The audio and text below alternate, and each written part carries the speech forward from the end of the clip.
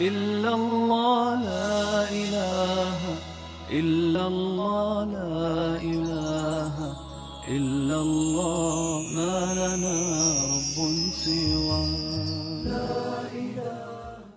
Fourth Interdel National Elocution Competition 2018 under Markazul Marif Education and Research Center Mumbai hosted by Markazul Marif and Ajmal Foundation Hojai Assam میں ہم سب کے M M E R C کے بہت پرانے اور شروع سے ہی اس M M E R T کو مولڈ کرنے میں جن کا ایکسپیرینس جن کا لگلی جسٹرس جن کا اپنی شخصیت جو پیچھے رہی ہماری گائیڈ بن کر، ہمارے teacher professor doctor Mohammad Ayub sir Nadvi Sahab کو میں دعوت اسٹیج دیتا ہوں کہ سر اپنے تاثرات سے میں نوازیں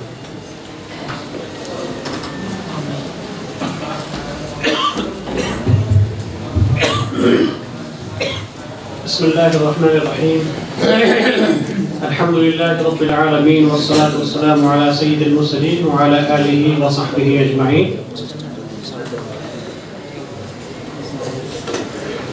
مرکز المعارف سے میرا تعلق انیس سو چورانوے سے ہے۔ تب سے ہم نے ہمیشہ سنا کہ ہوجائی ایک جگہ ہے۔ جہاں مولانا بدردین اجمل صاحب کچھ کام کر رہے ہیں۔ ہمیشہ سے چاہتا تھا کہ ہو جائی آؤں اور دیکھوں، لیکن پہلی مرتبہ مجھے موقع ملا کہ میں یہاں آؤں اور اپنی آنکھوں سے دیکھوں کہ یہاں تو مولانا بدردین اجمل صاحب نے جنگل میں منگل کر رکھا ہے۔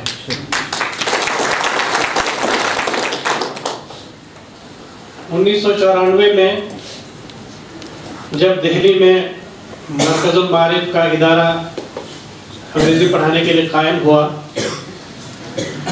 مولانا عمر گوتم صاحب کے ذریعے میں اس ادارے سے جڑا اور اس وقت مدارس کے کچھ فارغین کو انگریزی پڑھانے کے لیے وہاں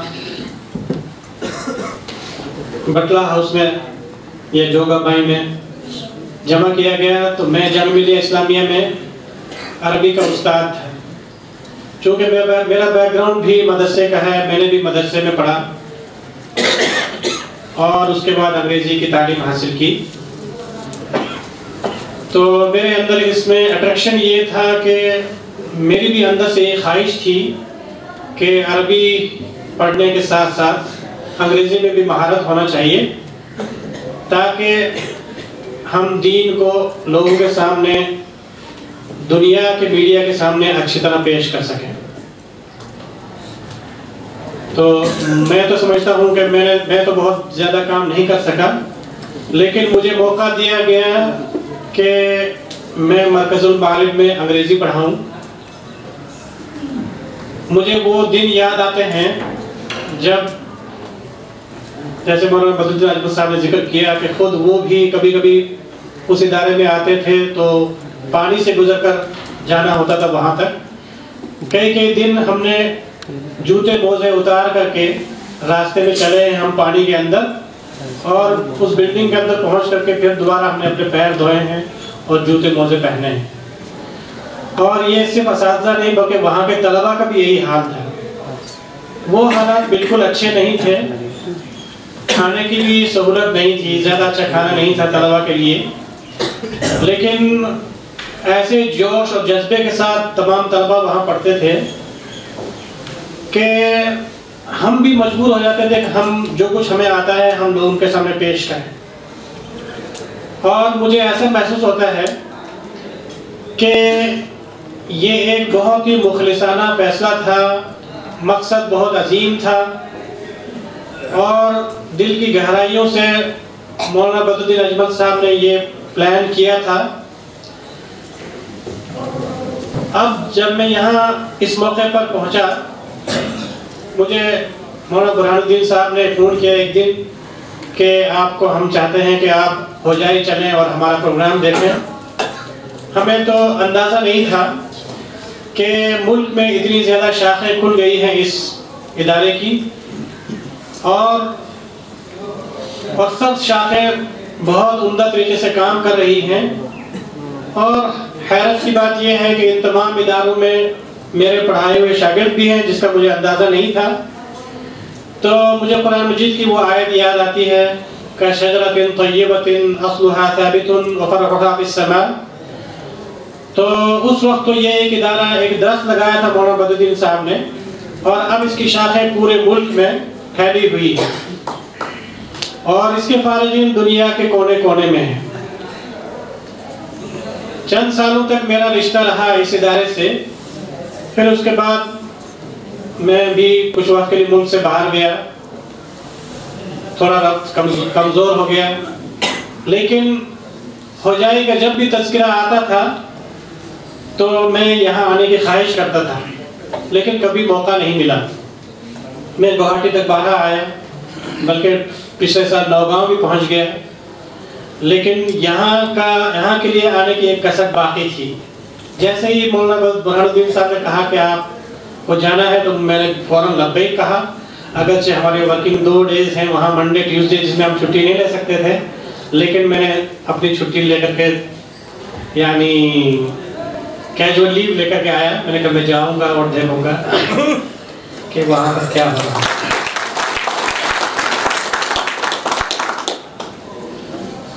یہاں آ کر کے واقعی مجھے احساس ہوا کہ بہت عظیم کام ہو رہا ہے اور جتنا یہ دکھ رہا ہے، اس سے زیادہ گہرائی میں موجود ہے۔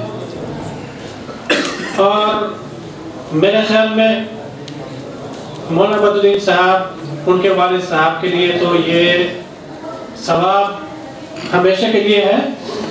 مجھے تو لگتا ہے جو بھی اس کار سے جڑا ہوا ہے، اس کو بھی ثواب پہنچ رہا ہے۔ میں تو اپنے کو خوش قسم سمجھتا ہوں کہ مجھے لگ رہا ہے کہ میں بھی ثواب میں شریک ہوں، سب کے ساتھ۔ جہاں تک پروگرام کا تعلق ہے، پروگرام بہت ہی کامیاب رہا، بہت اچھا رہا۔ تمام طلباء نے بہت اچھی تقریریں کی۔ ظاہر ہے کہ جیسے آپ کو پتا ہے، تمام علماء ہیں۔ مدارس میں ایک وقت گزارا ہے، عربی زبان میں مہارت حاصل کی ہے۔ اور اس کے بعد ایک خاص مقصد کے تحت انگریزی کی تعلیم حاصل کر رہے ہیں۔ اور چونکہ انگریزی کی تعلیم ہے تو جو ہمارے مخاطب ہیں وہ اس وقت پوری دنیا میں ہیں۔ اس وقت جو انگریزی بولی جاتی ہے وہ American British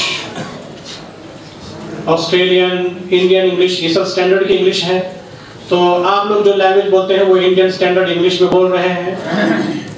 لیکن یہ زبان ایک وسیلہ ہے، اصل مقصد اس کے آگے کا ہے۔ آپ اس وسیلے کو بہت اچھی طرح حاصل کریں۔ اور اگر آپ نیٹو اسپیکر کی طرح نہیں بول سکتے ہوں، تو نیئر نیٹو بولنے کی کوشش کریں۔ تاکہ جو آپ کا مخاطب ہو، وہ آپ کی بات سمجھے۔ اور اس وقت اسلام پر جیسے حملے ہو رہے ہیں، بہت سی قومیں نادانی میں اس کے خلاف ہیں، ہمیں ان تک پہنچنا ہے اور ان کو اسلام کا صحیح میسج پہنچانا ہے۔ ایک اور بات جیسے مجھے محسوس ہوتی ہے، ہم لوگ مدرسے کے فارغین، میں بھی اسی میں شامل ہوں، ہم لوگ تھوڑے سے تنگ نظر واقع ہوئے ہیں۔ ہم بہت کھل کر کے نہیں سوچتے ہیں۔ ہم صرف محدود لوگوں کی کتابیں پڑھتے ہیں۔ تو میں اپنے تمام فارغین سے چاہوں گا کہ وہ تمام طرح کے لوگوں کی کتابیں پڑھیں، چاہے وہ مسلمان ہوں، غیر مسلم ہوں۔ دیکھیے کہ وہ کیسے لکھتے ہیں، وہ کیسے اپنی بات پیش کرتے ہیں۔ اس میں ہم بھی بہت ساری چیزیں سیکھ سکتے ہیں۔ دوسرے مسلک کے لوگ ہو سکتے ہیں، دوسری جماعتوں کے لوگ ہو سکتے ہیں۔ ہم ان کے تجربات سے فائدہ اٹھا سکتے ہیں۔ اور دین کے کام میں ہم آگے بڑھ سکتے ہیں۔